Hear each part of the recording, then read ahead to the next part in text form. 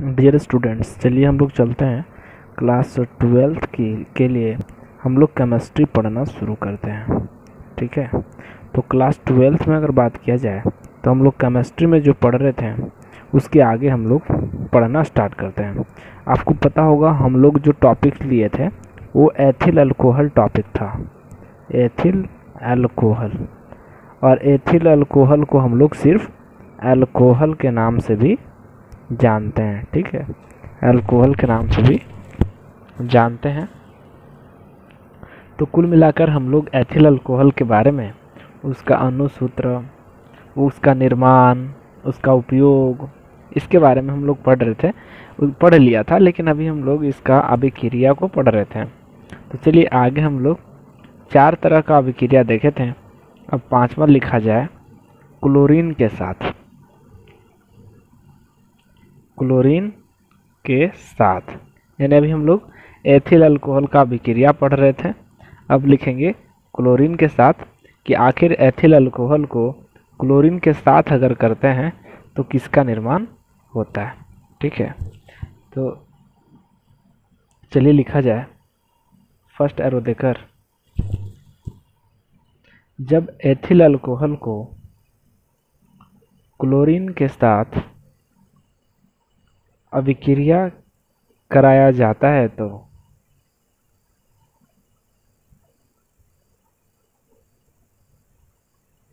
कराया जाता है तो। एसिटल डिहाइड, देखिएगा, लिखा हुआ है एसिटल डिहाइड एसिटल डिहाइड। और एसिटल डिहाइड का फार्मूला याद रखिएगा C H three C H O acetaldehyde का निर्माण होता है। का निर्माण होता है। यानी अभी हम लोग पढ़े कि जब किसी भी एथिल अल्कोहल एथिल अल्कोहल को क्लोरीन के साथ अगर हम लोग रिएक्शन कराते हैं इट मीन्स उसके नीचे अभिक्रिया लिखेंगे। एथिल अल्कोहल का फार्मूला पता है ना? C two H five O H यह एथिल अल्कोहल हो गया और क्लोरीन तो क्लोरीन अकेला नहीं होता है ये सी एल टू के रूप में होता है। सी एल टू के साथ अगर रिएक्शन कराते हैं, हम लोगों को क्या बनता है? एसिटल डिहाइड एसिटल डिहाइड का फार्मूला अभी बताएँ C H three C H O यही है हम लोग का एसिटल डिहाइड एसिटल डिहाइड ठीक है? Acetaldehyde plus two H C L ठीक है? टू एच सी एल तो कुल मिलाकर अगर देखा जाए तो हम लोग एसिटल डिहाइड का निर्माण कैसे होता है? जब अल्कोहल देखिए इसको एथिल अल्कोहल भी बोलते हैं सिर्फ़ अल्कोहल भी बोला जाता है। तो अगर अल्कोहल को क्लोरीन के साथ अगर अभिक्रिया कराएँगे, तब पर भी हम लोग, हम लोगों को क्या बनेगा? एसिटल डिहाइड ठीक है? तो इस तरीके से हम लोग अभिक्रिया को देख रहे थे। ठीक है? चलिए। दूसरा बात, अब हम लोग आते हैं, एक नोट में चीज़ को सीखते हैं। ध्यान रहे, हम लोग एथिल अल्कोहल का पाँच तरह का अभिक्रिया देखे हैं कि किसके किसके साथ अभिक्रिया होने पर क्या क्या होता है।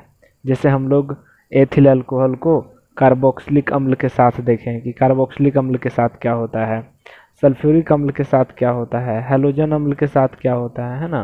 तो ये सब के बारे में हम लोग सोडियम धातु के साथ भी अभिक्रिया देखें कि सोडियम धातु के साथ करते हैं तो क्या बनता है। तो इन सब चीज़ों को लिखने के बाद उसके नीचे ना एक नोट में पॉइंट करके लिखिएगा, नोट। नोट में लिखना है। क्लोरोफॉर्म या आयोडोफॉर्म परीक्षण। क्लोरोफॉर्म या आयोडोफॉर्म परीक्षण द्वारा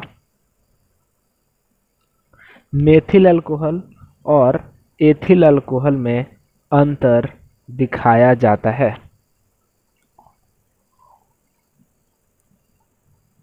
में अंतर दिखाया जाता है। चलिए। अभी हम लोग क्या लिखे? देखिए नोट में करके लिखे ना। आयोडोफॉर्म आयोडोफॉर्म या दोस्तों क्लोरोफॉर्म ठीक है? ये क्लोरोफॉर्म या आयोडोफॉर्म क्या है? एक यौगिक है, जो किसके लिए काम करता है दोस्तों? तो ये जो काम करता है हम लोगों का ये काम करता है अंतर दिखाने के लिए। किसमें किसमें अंतर? तो आपको दिखाता है मेथिल अल्कोहल मेथिल अल्कोहल और और एथिल अल्कोहल एथिल अल्कोहल ठीक है?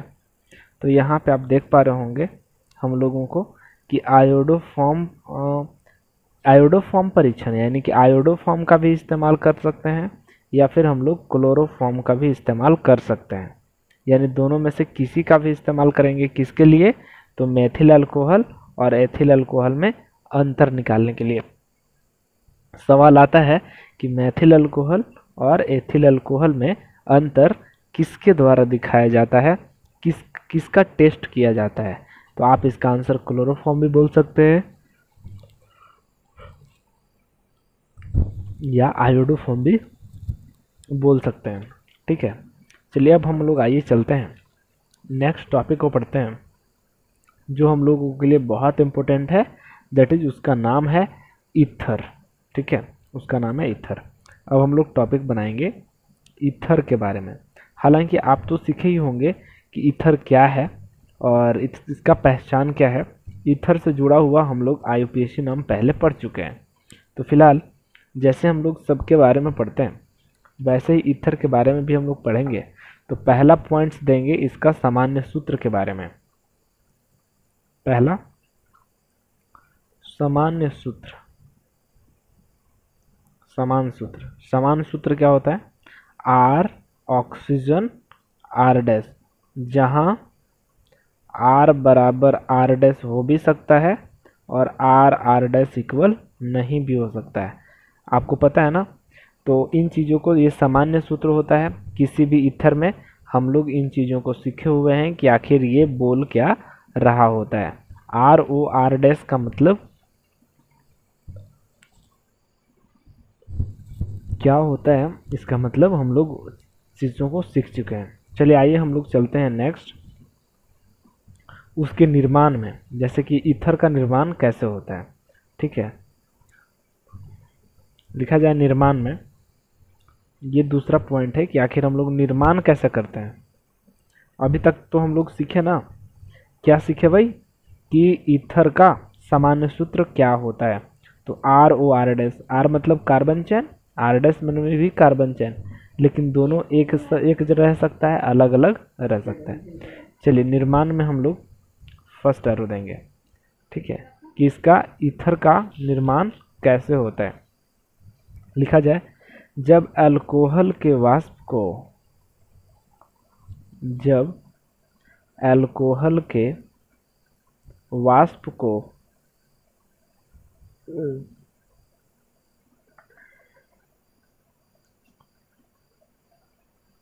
उच्च ताप पर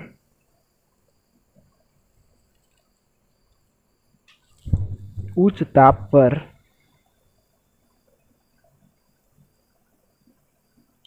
उच्च ताप पर।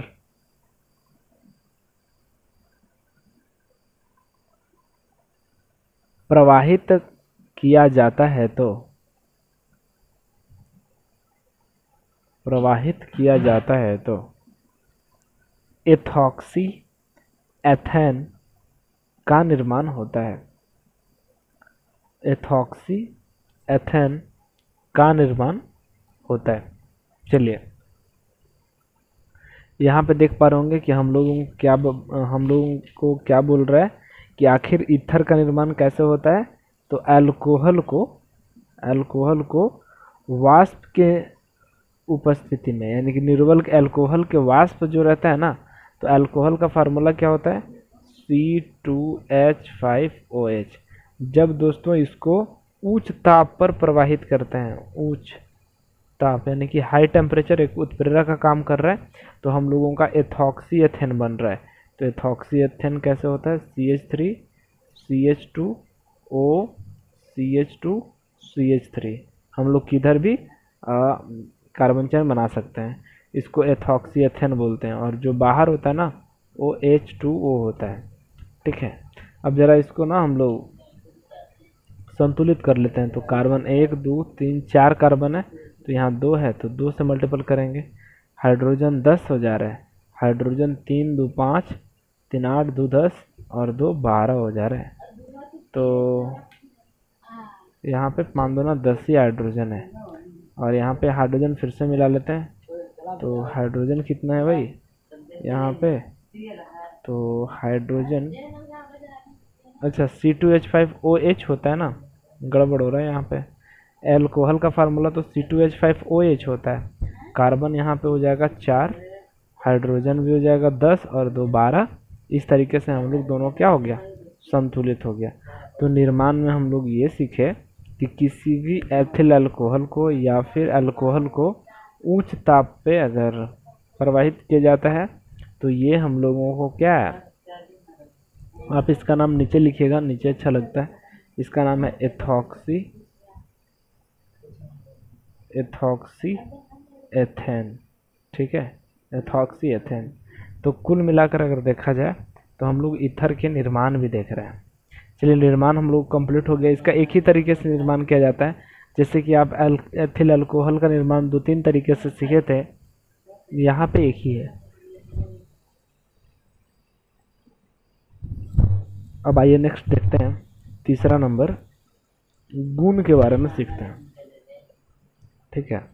यानी कि किसका गुण भाई? तो ईथर का। कि ईथर का क्या गुण है? ठीक है? सबसे पहला तो हम लोग गुण में लिखते हैं। उसके नीचे एरो देकर लिखेंगे। ईथर के गुण निम्नलिखित है। ईथर के गुण निम्नलिखित है। पहला पहला, यह रंगहीन द्रव है। और हम पहले ही बता चुके हैं, सबसे इम्पोर्टेंट तो आँख बंद करके लिखना है रंगहीन। इसको याद करने का ज़रूरत नहीं है। अगर कहीं भी केमिस्ट्री में आ गया तो उसके गुण के बारे में। फिर दूसरा लिखेंगे। इथर में कार्बन ऑक्सीजन बंधन। इथर में कार्बन ऑक्सीजन बंधन ध्रुवीय होता है। ध्रुवीय होता है। ध्रुवीय होता है।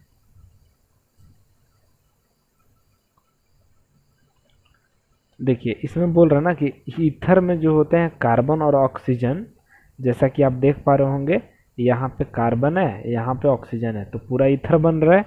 तो बोल रहा है कि ईथर में जो कार्बन ऑक्सीजन बंधन होता है ना, वो ध्रुवीय होते हैं। और ध्रुवीय का मतलब दोस्तों, ध्रुवीय का मतलब होता है कि पॉजिटिव और निगेटिव। ठीक है? यानी कि ये जब टूटता है ना तो प्लस और माइनस में टूटता है। इसीलिए यहाँ पे बोला गया ध्रुवीय होता है। ठीक है? चलिए तीसरा लिखा जाए। गुण में तीसरा। इनके द्विध्रुव आघूर्ण।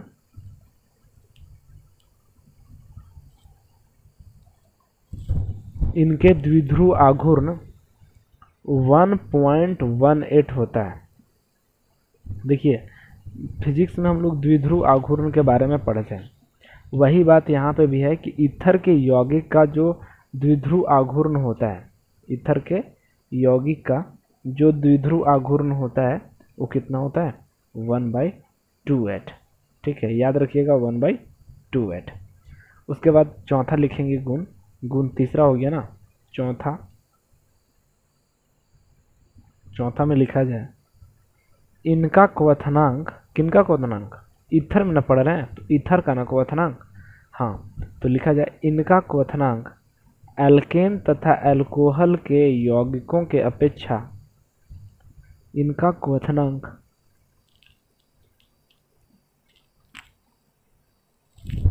एल्कोहल तथा एल्केन, चाहे एल्केन तथा एल्कोहल इधर उधर लिख सकते हैं, कोई दिक्कत नहीं है।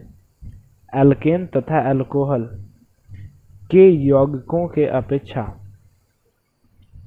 के यौगिकों के अपेक्षा कम होता है।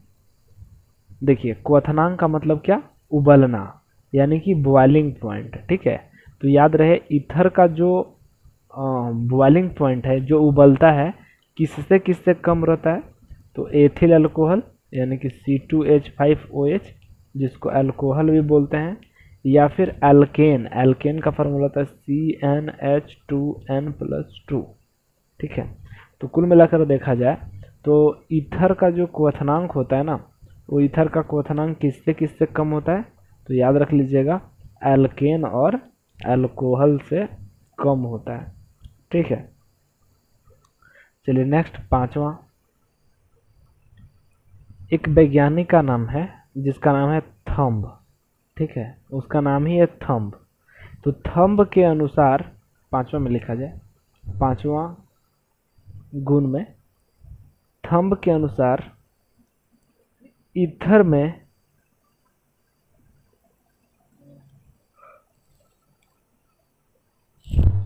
ईथर में चार कार्बन से कम हो तो ईथर में चार कार्बन से कम हो तो वे जल में, वे जल में विलेय होते हैं। वे जल में विलेय होते हैं। देखिए अब एक थम वैज्ञानिक है और ये क्या बताया? तो थम ने यह जानकारी दिया कि अगर किसी भी इथर में अगर किसी भी इथर में अगर चार से कम परमाणु रहेगा जैसे इथर हुआ एक कार्बन परमाणु चाहे दो गो कार्बन चाहे तीन गो कार्बन चार से अगर कम हुआ तो वो आ, उसका जो है जल में विलय होता है, जल में घुलनशील होता है। विलय मतलब घुलनशील। तो ध्यान रहे कौन कौन ईथर का यौगिक घुलता है? तो अगर वह ईथर में एक कार्बन रहा, तब पर भी घुलेगा, दो रहेगा, घुलेगा, तीन रहेगा, वाटर में घुलेगा, पानी में घुलेगा। लेकिन जैसे ही चार हो गया, तब कुछ नहीं कहा जा सकता। लेकिन पाँच तो खैर हो ही नहीं सकता है। वो घुल, घुलनशील हो ही नहीं सकता है। ठीक है? तो इस तरीके से हम लोग चार पाँच इसका किसके बारे में पढ़ रहे हैं हम लोग? तो इथर के बारे में ना? तो चार पाँच हम लोग इसका गुण किए जो इथर का गुण कहलाता है। अब आइए हम लोग चलते हैं। इथर का अभिक्रिया को पढ़ते हैं। That is a point number three ठीक है? इथर के अभिक्रिया। इथर की कर दी जाएगा। ईथर की अभिक्रिया। तो ईथर की अभिक्रिया हम लोग तीसरा पॉइंट्स बनाएँगे और उसमें पहला लिखेंगे। देखो ईथर जो अब हम लोगों का फिक्स हो गया, अब जो यहाँ अभिक्रिया कराएँगे अलग अलग योगी के साथ कराएँगे। ऑक्सीजन नाइट्रोजन मैंने कुछ जो, कुछ भी हम लोग लगा सकते हैं। सिवाय हम लोगों को इथर हम लोगों का चेंज नहीं होगा। इथर का तो इथर ही रहेगा, लेकिन इथर के साथ जो दिया गया अभिक्रिया है, उसको करने के लिए थोड़ा सा लफड़ा है। अब यहाँ पे देख पा रहे होंगे कि ईथर का जो अभिक्रिया है ना, उसका हम लोग अलग अलग तरीके से करेंगे। ये तो फिक्स है। अब हम लोग इसका अभिक्रिया देखेंगे तो पहला जो है, हेलोजन के साथ करेंगे। तो पहला लिखिएगा, हेलोजन के साथ। ठीक है? अब हेलोजन के साथ का मतलब क्या हुआ? हेलोजन का मतलब हुआ कोई भी एक्स यहाँ पे हेलोजन हम लिख दिए हैं, क्योंकि ये पहला पॉइंट था हेलोजन के साथ आना है अब से। तो अब हेलोजन के साथ आना है अब से, इसका मतलब क्या हुआ? कि किसी भी अभिक्रिया में अगर हम लोग इथर को हेलोजन के साथ करें तो हेलोजन यही ना होता है पाँच गो फिर कल बहारे आएँगी आंटी। यानी कि फ्लोरीन क्लोरीन बहारे माने बी आर ब्रोमीन आएँगी आंटी, आएँगी ऐसे ही है। तो कुल मिलाकर देखा जाए तो एक्स के जगह पर हम लोग फ्लोरिन क्लोरीन तो पहले इसका, इसके नीचे लिखा जाए, कुछ बात लिखा जाए। जब इथर को किसी हैलोजन के साथ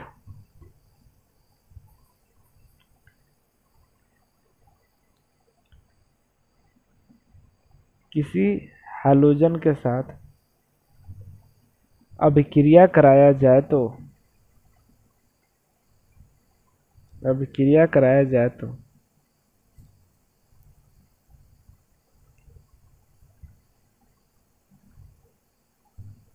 One one dichloro, one one dichloro, comma diethyl ether बनता है, कॉमा डाईएथिल ईथर बनता है। चलिए, अब पहले इसका रूल्स देखेंगे हम लोग कि आखिर one one dichloro diethyl ether बनता कैसे है। तो इसका सबसे पहले रूल्स को समझेंगे हम लोग। यहाँ पे देख पा रहे होंगे कि एक ईथर है। अब ईथर वही रख लेते हैं जो एग्ज़ाम्पल दिए थे। C H three C H two O यहाँ पे खाली स्थान है। खाली स्थान नहीं है मतलब कि यहाँ पर बॉन्ड जुड़ रहा है। ओ यहाँ पे C H two C H three ठीक है। यही तो था ना अभिक्रिया जिसको हम लोग इथर बोल रहे थे। ठीक है, अब इस इस इथर को हम लोग किसके साथ रिएक्शन कराएँगे दोस्त? एक्स के साथ। एक्स का मतलब क्या है? एक्स का मतलब halogen fluorine chlorine bromine iodine कुछ भी।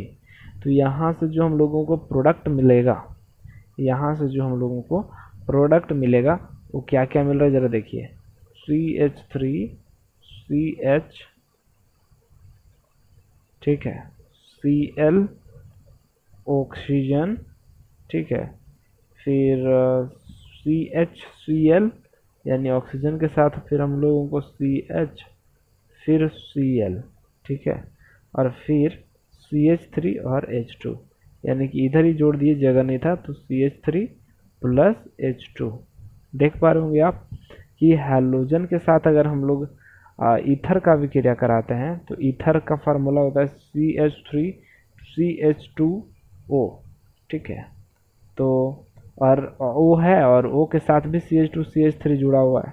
तो हम लोग कह सकते हैं कि ये ईथर है और ईथर को जब एक्स के साथ एक्स का मतलब हैलोजन के साथ कराते हैं अभिक्रिया तो हम लोगों को इस तरीके से कुछ अभिक्रिया लिख सकते हैं। बहुत सारा, जैसे मान लिया एग्ज़ाम्पल ठीक है, ऐसा कुछ है। सी एच थ्री ठीक है oxygen C H two C H three ठीक है ऑक्सीजन सी एच थ्री तो कुल मिलाकर अगर देखा जाए तो C H three oxygen C H two C H three ठीक है। तो यहाँ पे आप देख पा रहे होंगे कि इस तरीके का यौगिक है, जिसको हम लोग क्या कहते हैं? इथर कहते हैं। ठीक है? जब इसको अगर हम लोग हेलोजन के साथ करेंगे इट मीन्स हेलोजन का मतलब क्या दोस्तों? हेलोजन का मतलब वही फ्लोरीन क्लोरीन ब्रोमीन अगर इस हेलोजन को हम लोग क्या लिख सकते हैं? तो इस हेलोजन को हम लोग सिर्फ़ एक्स नहीं लिख सकते, जैसे सिर्फ़ सी एल नहीं लिख सकते। यहाँ पे हम लोगों को बी आर टू यूज़ कर रहे हैं। तो यहाँ पे आप रूल्स को देखिए कि यहाँ से लेकर यहाँ तक तो इथर है। ये एक्स है और एक्स के रूप में हम क्या इस्तेमाल किए हैं? बी आर टू और फिर इससे रिएक्शन क्या बनेगा ज़रा देखिए। तो जितना भी यहाँ पे क्लोरीन था, उसको इससे जोड़ दिया है। किससे? जो हम लोगों को प्रतिपल बन रहा था। ठीक है। तो यहाँ पे देख पा रहे होंगे कि बी आर टू को ऐड कर रहे हैं। तो ये दोनों सी एल को जब ऐड कर रहा था, देख रहे हैं? एक्स की जगह पे यहाँ पे माई मिस्टेक हो गया सी एल नहीं होगा एक्स होगा। यहाँ पे भी एक्स होगा दोस्त। ठीक है, सुधार कर लीजिएगा आप। तो यहाँ पे C H three O C H C H two C H three B R two ये कहीं दूसरी जगह इनको ले जाना होगा। फिर हम लोग क्या देखें कि एक, दो, तीन, चार, पाँच कार्बन पाँच कार्बन का चैन जुड़ा हुआ है। तो यहाँ से भी हम लोग कितना भी चैन जुड़ा लेंगे? C H three C H two C H two और सी एच थ्री ठीक है? अब सी एच थ्री का मतलब क्या हुआ? एक कार्बन और एक कार्बन ये दो कार्बन है। अच्छा हाँ एक, दो, तीन। तीन ही है ना? तो ये नहीं जाओ भाई सी एच थ्री तुम ले लियो, ठीक है? अच्छा फिर क्या बोल रहे हैं? कि सी एच थ्री इतना इतना इज़ मैक्सिमम मैक्सिमम बोल रहा है तो इसीलिए एक्स का वैल्यू यहाँ पे हम लोग जो रखेंगे सबसे पहले तो क्लोरीन रखेंगे ठीक है? और दूसरी बात की चलिए तो इस तरीके से हम लोग रिएक्शन को कंप्लीट कर सकते हैं। इट मीन्स कि एक्स जोड़ना है ना? तो आप किसी भी आ, को एक्स जोड़ लो जैसे मान लिया सी एच थ्री और यहाँ पे सॉरी यहाँ पे ऑक्सीजन है। और एक यहाँ से हाइड्रोजन हटा दीजिए, और एक यहाँ से बी आर जोड़ दीजिए, और यहाँ सी एच टू कर दीजिए, और एक तरफ़ बी आर जोड़ दीजिए। यानी हम लोगों का रूल्स के अनुसार ही काम करना है। ऑक्सीजन के दोनों तरफ़ क्या जुड़ा हुआ है? एक्स एक्स तो ऑक्सीजन के दोनों तरफ़ बी आर जोड़ दिया, और बाद में एच टू बाहर हो जाएगा। तो इस तरीके से हम लोग एग्जाम्पल्स के तौर पे क्वेश्चन किए कि किसी भी हाइड्रोजन के साथ अगर हम लोग रिएक्शन कराते हैं, किसके किसका? ईथर का तो हम लोगों का क्या क्या बनता है। चलिए, ये तो ए था ना आठ आठ का ये हेलोजन के साथ। चलिए, अब हम लोग आगे बढ़ते हैं, आठ का बी पे। देखते हैं कि बी नंबर सवाल में किसके साथ अभिक्रिया कराया जाए। तो बी नंबर में लिखा जाए, सल्फ्यूरिक अम्ल के साथ। सल्फ्यूरिक अम्ल, ठीक है। सल्फ्यूरिक अम्ल। अब सल्फ्यूरिक अम्ल का फार्मूला तो याद होना चाहिए। सल्फ्यूरिक अम्ल का फार्मूला होता है H two S O four H two S O four ठीक है। अब H two S O four का ही हम लोग अभिक्रिया लिख रहे हैं। यानी कि इथर की उपस्थिति में हम लोग सल्फ्यूरिक अम्ल को एक बार नपवा दीजिए। तो हम ये बोल रहे थे कि सल्फ्यूरिक अम्ल को क्या करना है? मतलब अभिक्रिया में भाग लेवाना है। तो हम लोग क्या लिखेंगे? सबसे पहले लिखा जाए। जब इथर को, जब इथर को सल्फ्यूरिक अम्ल के साथ अभिक्रिया कराया जाता है तो सल्फ्यूरिक अम्ल के साथ अभिक्रिया कराया जाता है तो एथिल अल्कोहल का निर्माण होता है। एथिल अल्कोहल का निर्माण होता है।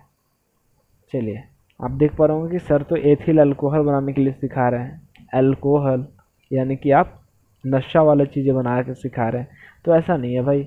आप यहाँ पे देख लो तो हम लोगों का इथर टॉपिक्स है और उस टॉपिक्स का हम लोग अलग अलग रिएक्शंस देख रहे हैं और देखते भी हैं। तो यहाँ पे हम लोगों को ये पता चला कि कोई भी इथर है। इथर को एग्ज़ाम्पल के तौर पे हम बता रहे हैं। C H three C H two O C H two C H three ठीक है?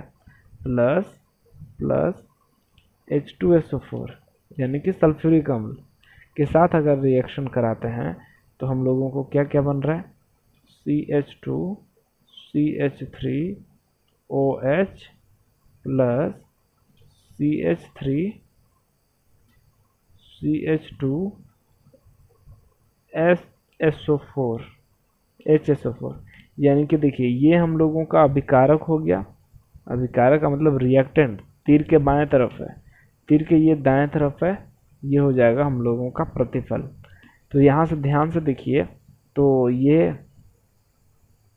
हम लोगों का अभी क्या है? तो ईथर है, इसके साथ हम लोग सल्फ्यूरिक अम्ल H two S O four को लगाएँ। तो क्या कुछ बाहर भी हो सकता है। तो जी नहीं, बाहर नहीं, बसरते इसका जो प्रतिफल बनता है ना, वो एथिल अल्कोहल। एथिल अल्कोहल का मतलब यहाँ पे देख पा रहे होंगे ना, क्या है ये? C H two C H three O H तो एथिल अल्कोहल बन रहा है। और यहाँ पे हम बोल सकते हैं एथिल हाइड्रोजन सल्फेट भी बोल सकते हैं, बिल्कुल सही। तो आप इस रिएक्शन को तो थोड़ा सा याद करना ही पड़ेगा। ठीक है? चलिए अब हम लोग आते हैं सी नंबर में। ठीक है? सी नंबर क्या है? तो हेलोजन अम्ल के साथ बी में क्या है? हेलोजन अम्ल के साथ। अरे तो आ, आ, किसी के साथ भी हो हेलोजन अम्ल के साथ हो तो हेलोजन अम्ल का मतलब समझ रहे ना एच एक्स एच एक्स होता है। तो ये हेलोजन अम्ल के साथ अगर अभिक्रिया करेंगे दोस्तों तो हम लोगों को कैसे रिएक्शन बनेगा वो हम लोग देखेंगे अगली क्लास में। तो आज के लिए इतना ही। धन्यवाद।